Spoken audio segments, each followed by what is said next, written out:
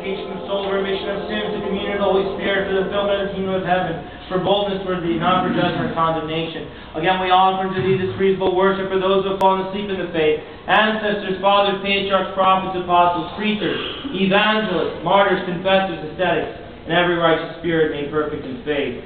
Especially for our most holy, most pure, most blessed and glorious Lady Theotokos, and ever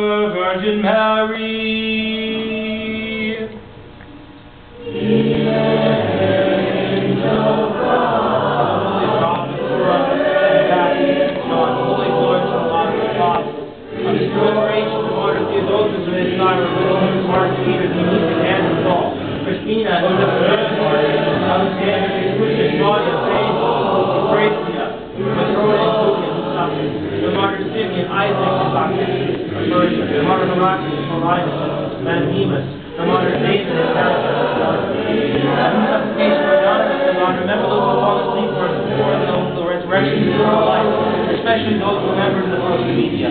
Grant them rest, O God, with the light that shines on them. Again, we entreat you, remember the Lord who worship of the who writes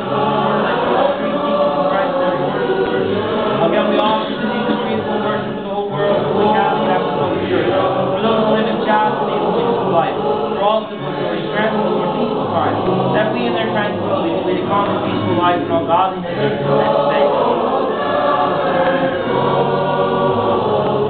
And be